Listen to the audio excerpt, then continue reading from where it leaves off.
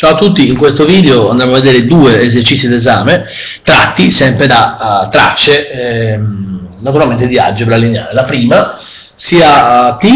uh, un operatore naturalmente uh, sullo spazio vettoriale R3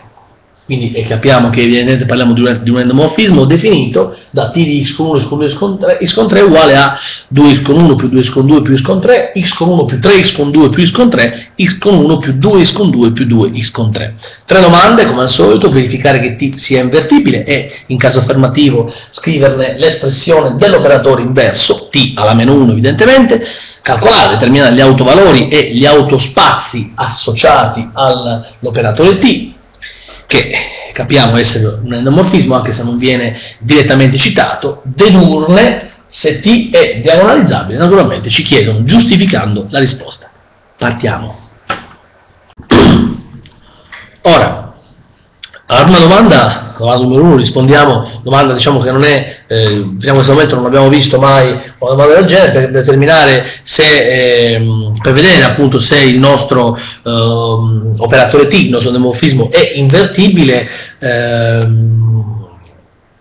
basta vedere eh, se il determinante della matrice associata all'operatore T, all'endomorfismo F, rispetto alla base canonica di R3, che è 1, 2, 3, eh, ha determinante diverso da 0, cioè sostanzialmente eh, ha rango massimo pari a 3. In questa maniera vedremo che T è invertibile e calcoleremo a questo punto, una volta verificato che l'operatore T è invertibile, eh, questo T, eh, alla meno 1 sarà rappresentato, l'inverso, l'operatore inverso T alla meno 1 sarà rappresentato dalla matrice inversa A alla meno 1, ovvero eh, l'inversa della matrice A, ripeto, associata all'endomorfismo, all'operatore T, rispetto alla base canonica E1, E2, E3. Allora, intanto scriviamo come al solito la matrice associata a T rispetto alla base canonica 1, 0, 0, 0, 1, 0, 0, 0, 1 e 1, e 2 e 3, che sostanzialmente consiste nel riportare in colonna eh, i coefficienti eh, di questa,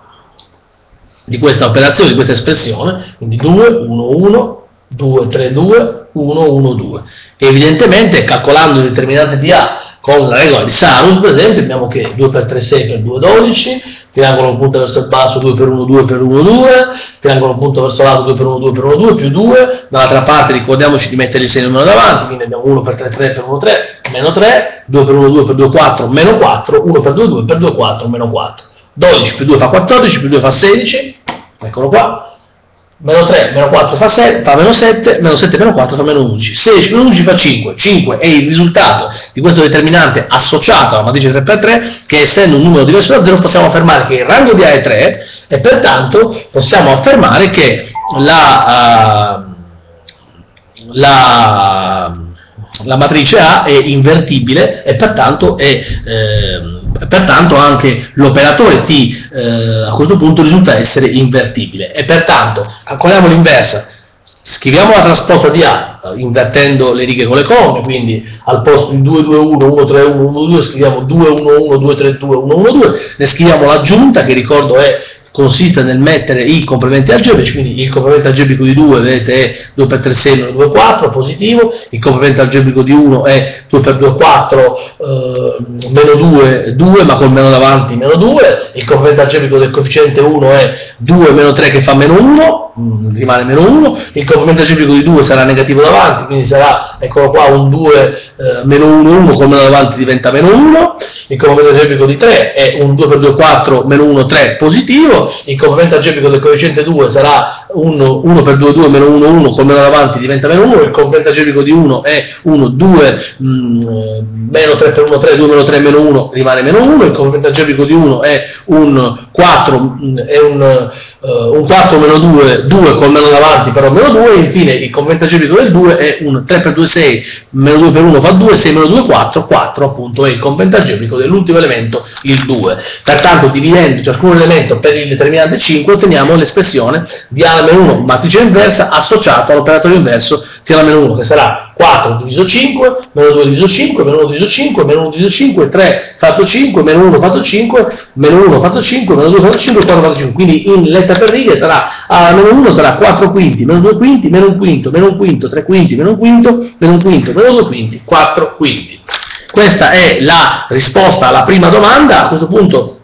possiamo subito però dire che, visto che la matrice A associata all'operatore T rispetto alla base canonica 100010001, cioè 1 e 2 e 3, e risulta essere, avere rango massimo 3, possiamo anche dire che in questo caso eh, possiamo notare come la dimensione dell'immagine di F sia uh, dello, dello, sottospazio vettoriale immagini di F, anche se non ce lo chiedono possiamo dire è 3, che coincide con rango, pertanto possiamo dire che F è eh, chiaramente, eh,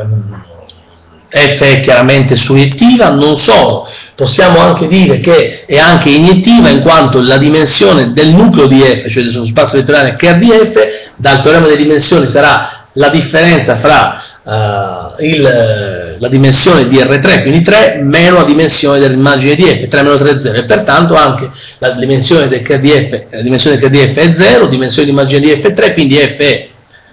suriettiva, iniettiva, F è obiettiva, quindi questo operatore T che è un endomorfismo è anche un automorfismo. Detto questo, eh, naturalmente possiamo a questo punto rispondere alla domanda numero 2. Allora, per rispondere alla domanda 2 eh, andiamo a, calcolare il polinomio caratteristico, quindi prima di tutto andiamo a determinare gli autovalori associati all'operatore t, scrivendo naturalmente, impostando il determinante diametro lambda i che è determinante di, eh, ricordo, riscriviamo la nostra uh, matrice, il nostro determinante 3x3 associato alla matrice 2, 2, 1, 1, 3, 1, 1, 2, 2, dove nella diagonale principale ci sottraiamo il meno lambda, quindi avremo che il determinante sarà 2 meno lambda, 2, 1, 1, 3 meno lambda, 1, 1, 2, 2 meno lambda. Lo poniamo uguale a 0, in quanto lo sappiamo, dobbiamo porlo uguale a 0, abbiamo che P di lambda, il nostro polinomio caratteristico uguale a 0, diventa l'equazione caratteristica, che sarà, applicando ad esempio la regola di Sardo, otteniamo che 2 meno lambda per 2 meno lambda è un 2 meno lambda al quadrato per 3 meno lambda, poi 2 per 1 2 per 2 2 più 2, 2 per 1 2 per 2 più 2, attenzione che dall'altra parte mettiamo il segno davanti, abbiamo 1 per 1 1 per 3 meno lambda, con meno davanti abbiamo un lambda meno 3, poi dall'altra parte 2 per 1 2 per 2 meno lambda è un meno 2 che moltiplica 2 meno lambda, dall'altra parte 2 per 1 2 per 2 meno lambda è un meno 2 che moltiplica 2 meno lambda, tutto quanto uguale a 0. Andiamo a sviluppare questo quadrato di binomio che è un quadrato del primo 4 più lambda quadro quadrato del secondo meno, meno 4 lambda il doppio prodotto del primo per il secondo per naturalmente 3 meno lambda poi abbiamo 1 più 2, 2 più 2 4, più lambda, meno 3, eh, meno 2 per 2 fa meno 4, meno 2 per meno lambda fa più 2 lambda, meno 2 per meno 2 fa meno 4, meno 2 per meno 2 lambda, per meno lambda fa 2 lambda, uguale 0. Andiamo a moltiplicare, 4 per 3 fa 12, 4 per meno lambda fa meno 4 lambda, lambda quadro per 3 fa 3 lambda quadro, lambda quadro per meno lambda è un meno lambda cubo, meno 4 lambda per 3 è un meno 12 lambda, meno 4 lambda per meno lambda è un meno per meno più, 4 lambda per lambda è un 4 lambda quadro. Abbiamo 2 più 2 abbiamo detto che fa 4, 4 e meno 4 se ne possono, si possono eliminare perché opposti, poi abbiamo un lambda più 2 lambda e un 3 lambda più 2 lambda fa 5 lambda eh, e poi naturalmente meno 3 meno 4 e meno 7. A questo punto andiamo a risolvere, ci viene uguale a 0 l'equazione caratteristica finale, ci viene un meno lambda cubo, avete un 3 lambda quadro più 4 lambda quadro è un più 7 lambda al quadrato, abbiamo che meno 12 lambda eh, meno 12 lambda più 5 lambda è un meno 7 lambda, meno 4 lambda è un meno 11 di lambda, 12 meno 7 è 5, meno lambda cubo più 7 lambda quadro, meno 11 lambda più 5 uguale a 0 è l'equazione caratteristica di terzo grado del lambda della quale dobbiamo trovare i tre autovalori lambda, applichiamo ad esempio Ruffini, questo è un modo, si potrebbe anche, notiamo che per lambda uguale 1 viene un meno 1 più 7, 6, meno 11 più 6, meno 6, 6 meno 6, 0, quindi si annulla il quadrinomio di terzo grado, quindi possiamo mettere uno qua, mettiamo qui i coefficienti del nostro, i coefficienti di lambda cubo, quindi meno 1, il coefficiente di lambda quadro, quindi 7, e il coefficiente di lambda, quindi meno 11, il termine 5 lo mettiamo all'estrema destra, abbassiamo il meno 1, meno 1 per 1 fa meno 1, 7 meno 1 6 per 1 6, meno 11 più 6 fa meno 5, meno 5 per 1 fa meno 5, 5 meno 5 per il teorema del resto si annulla, quindi questi rappresentano i coefficienti del trinomio di secondo grado che è meno lambda quadro più 6 lambda meno 5, raccogliamo un meno fattore comune, questo lambda 1 diventa 1 meno lambda, se raccogliamo meno, quindi questo diventa lambda quadro meno 6 lambda più 5. Ma lambda quadro meno 6 lambda più 5 per la regola del trinomio particolare è scrivibile come lambda meno 5 per lambda meno 1. Quindi abbiamo che questo meno lambda cubo più 7 lambda quadro meno 11 lambda più 5 uguale 0, l'equazione caratteristica può essere scomposta in prodotto di tre binomi che sono 1 meno lambda per lambda meno 1 per lambda meno 5. Notiamo come ci sono quindi due soluzioni solo, la prima è a, a, molteplicità algebrica pari a 2, quella pari a 1, lambda 3 invece pari a 5 ha molteplicità algebrica pari a 1, affinché, ripeto, per, teorema, per il teorema già espresso, affinché il, il, nostro endomorfismo, il nostro operatore T sia diagonalizzabile, lo ricordo, l'ultima domanda, dovremo avere che intanto oh, è soddisfatta la condizione secondo la quale gli autovalori sono reali, Naturalmente deve risultare che la molteplicità algebrica del primo lambda coincida con la molteplicità geometrica del, eh, del, di, di, lambda, ovvero coincida con la dimensione dell'autospazio. Quindi la dimensione dell'autospazio composto dagli autovettori associati a lambda uguale 1 deve essere 2. Attenzione che invece la molteplicità algebrica di lambda deve essere pari alla molteplicità algebrica di lambda, cioè 1 deve essere la dimensione dell'autospazio relativo all'autovettore associato all'autovalore lambda uguale 5 dovremo verificare questo. Andiamo a questo punto a determinare gli autovettori associati appunto all'autovalore 1 di molteplicità algebrica pari a 2 e all'autovalore 5 di molteplicità algebrica pari a 1. Allora, andiamo a sostituire prima l'autovalore lambda uguale 1 e poi lambda uguale 5 per trovare gli autospazi E di 1 e di 5, ovvero relativi agli autovettori. Andiamo a risolvere un sistema omogeneo dove a posto, sostituiamo al posto di lambda uguale 1, troviamo tre equazioni uguali, x con 1 più 2 x con 2 più con 3 uguale 0, x con 1 più 2 x con 3 più con 3 uguale 0 e x con 1 più 2 x con, più 2 x con 2 più, più con 3 uguale 0. Quindi questo sistema si riconduce alla risoluzione di un'unica equazione, x con 1 più 2x con 2 più x con 3 uguale a 0, che è un'equazione in tre incognite, ma un'equazione solo, quindi ammette infinito alla 3 meno 1 soluzione, infinito alla 2 soluzioni. Quindi già sappiamo che la dimensione di questo autospazio è 2, quindi la molteplicità algebrica di lambda uguale 1 sarà 2, pertanto già possiamo dire che per adesso la condizione di diagonalizzazione è verificata andiamo a porre ad esempio x con 1 uguale a meno 2 x con 2 meno x con 3, ponendo x con 2 x con 3 rispettivamente pari a hk con hk reali meno lo 0, otteniamo che meno 2h meno k, hk sono le, due, sono le ehm, soluzioni del nostro autospazio di 1, ovvero divise meno 2h, h0 più meno k, 0k, raccogliendo rispettivamente hk otteniamo che h moltiplica meno 2, 1, 0, k moltiplica meno 1, 0, 1. Meno 2, 1, 0, meno 1, 0, 1 sono appunto, è il nostro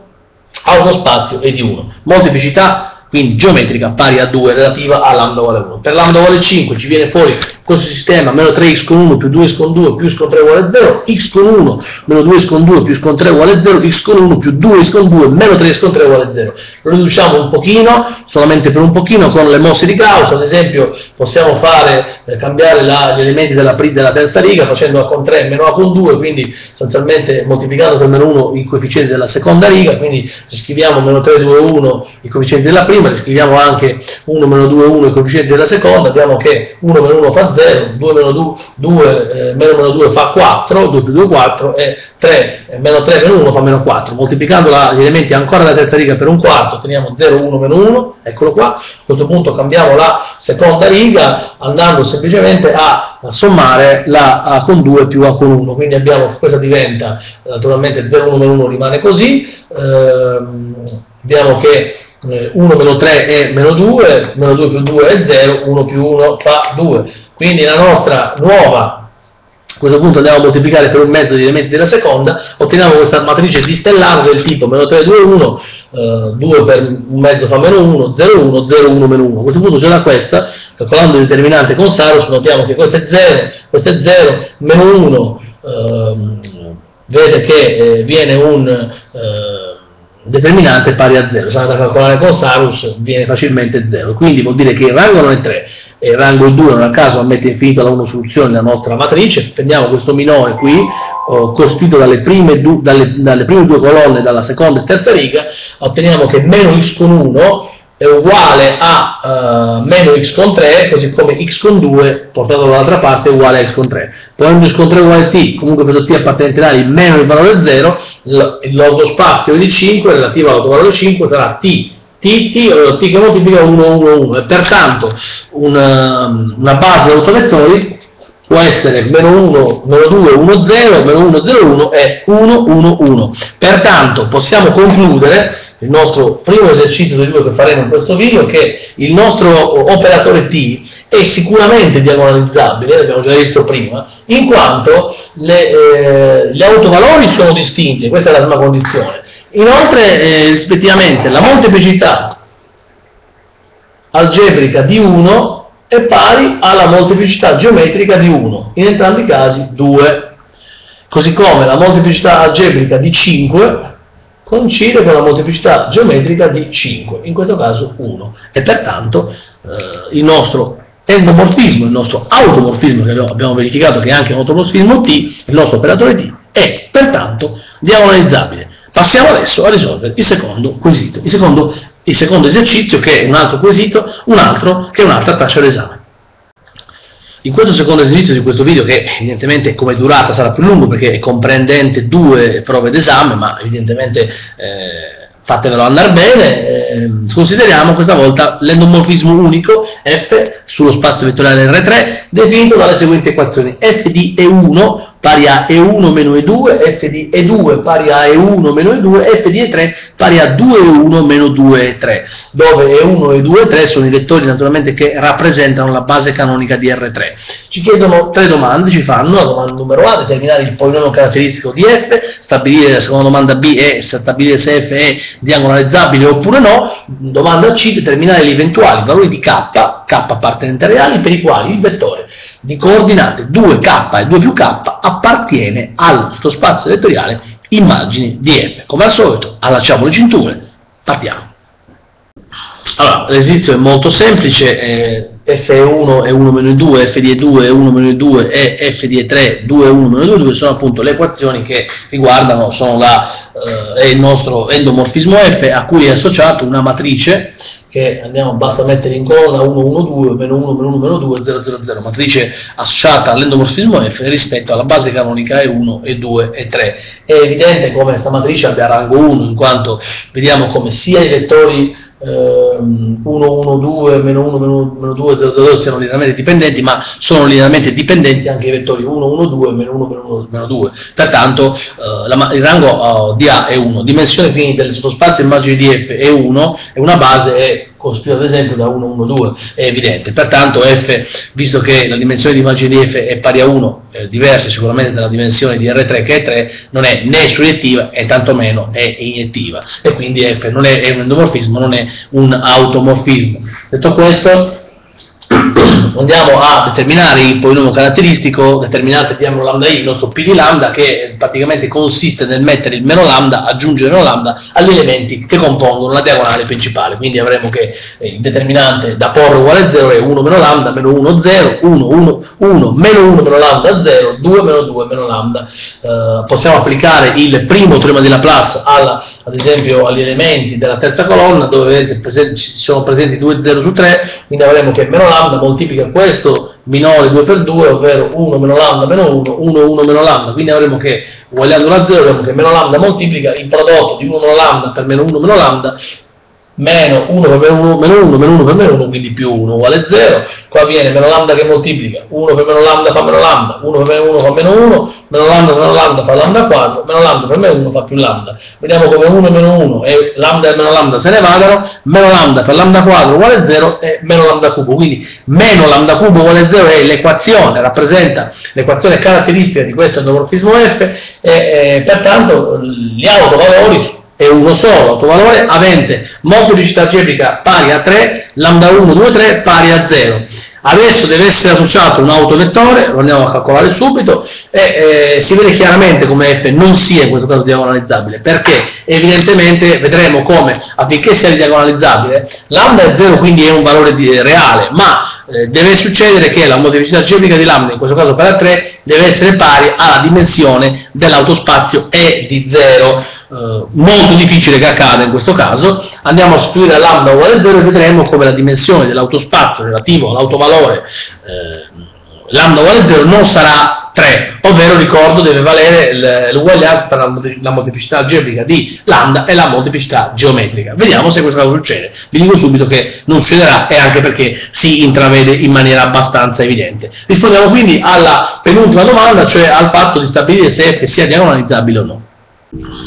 Come detto è evidente che f non sia diagonalizzabile in quanto sostituendo lambda uguale a 0 si riottengono, si riottiene di nuovo, si riottengono le equazioni x con 1 meno x con 2 uguale a 0, x con 1 x con 2 uguale a 0 e 2x con 1 meno x con 2 uguale a 0, ovvero eh, che si riconducono a un, um, solo sistema rappresentato da una sola equazione x con 1 meno x con 2 uguale a 0 che ammette evidentemente infinito alla due soluzioni. Pertanto la molteplicità eh, algebrica di 0 e 3 contro quella geometrica che è 2 pertanto possiamo certamente affermare che evidentemente il nostro endomorfismo F questa volta è una volta che succede ma può succedere non è pertanto diagonalizzabile in quanto ripeto non è soddisfatta la condizione necessaria sui generici dice che affinché la condizione successa affinché sia diagonalizzabile che gli autovalori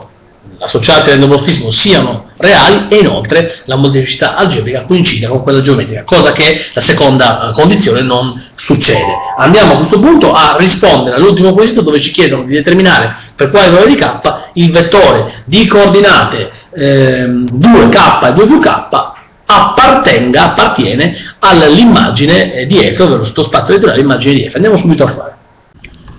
Oh, naturalmente per verificare se un vettore appartiene al spazio vettoriale immagine di f si prende la, la base calcolata dell'immagine di f che opportunamente abbiamo calcolato prima, che ad esempio è costituita dalla prima colonna 1, 1, 2, possiamo metterla in riga o in colonna, non cambia niente, e metterla in combinazione lineare con il nostro vettore di coordinate 2k k più 2 e a questo punto vedere che il determinante formato dalle due, dai due, dalle due coordinate dei due vettori sia 0, ovvero dobbiamo, dobbiamo, vedere se per quale valore di k questi due vettori sono linearmente dipendenti, perché se sono linearmente dipendenti vuol dire che effettivamente il vettore di coordinate 2k k più 2 appartiene al suo spazio vettoriale immagine di f. Li mettiamo in riga, prendiamo ad esempio, non so, la, eh, prendiamo la, le prime due eh, righe, le due colonne, abbiamo k per 1k meno 2, k meno 2 uguale 0, quando k uguale 2, quindi per k uguale 2 diremo che sostanzialmente il vettore appartiene, il vettore di coordinate 2k, k più 2 appartiene al sottospazio vettoriale immagini di f questo, eh, questo compito, questo traccio d'esame era molto semplice, questo naturalmente conclude il nostro video che è stato naturalmente è stato centrato su eh, vari quesiti come al solito riguardanti gli endomorfismi, vi rimando quindi al prossimo video, non perdetelo ancora, riguardanti le applicazioni lineari, gli endomorfismi. Ciao a tutti!